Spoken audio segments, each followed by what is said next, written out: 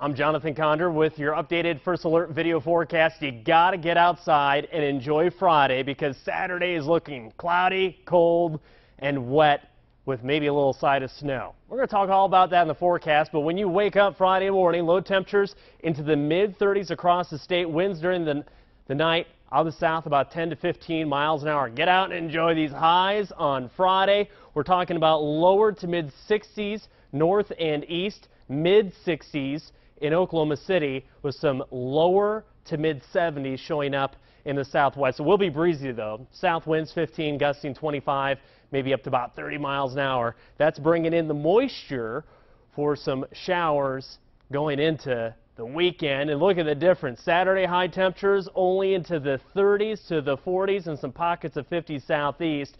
You know what this means? Cloud cover and rain, even a little bit of snow. I'll talk all about that.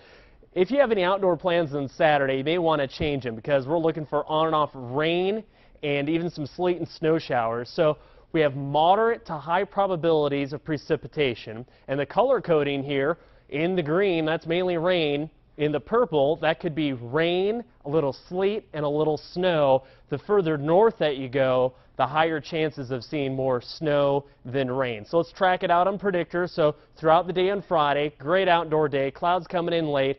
When you wake up Saturday morning, we're going to be dealing with some rain showers in green, a little mix of sleet in the pink, and some snow showing up in the blue. Watch what happens throughout the day. The colder air comes in, and that mix line will get closer to central Oklahoma and Oklahoma City, but you get south of Oklahoma City, and it's mainly rain showers. And then we get into Saturday evening, that all moves out. And that's going to leave us with a dry Sunday. So how much snow can we expect? Boy, this is a borderline event. It's not clear cut right on the edge of those wet snowflakes. So the question is, how much is going to accumulate? Aryan white is a trace amount like a dusting and mainly on the grassy areas. The highlighted area in blue, Stillwater, Ponca City, Enid, an inch. There might even be an isolated higher amount of a little bit more than an inch. And again, these are going to be very wet snowflakes with accumulations mainly on the grassy areas. The roads should be fine. Watch out for some of the bridges and overpasses in north central Oklahoma late in the day on Saturday. So here's a look at your complete metro forecast. 38 degrees for your Friday morning, partly clear. Winds pick up throughout the morning.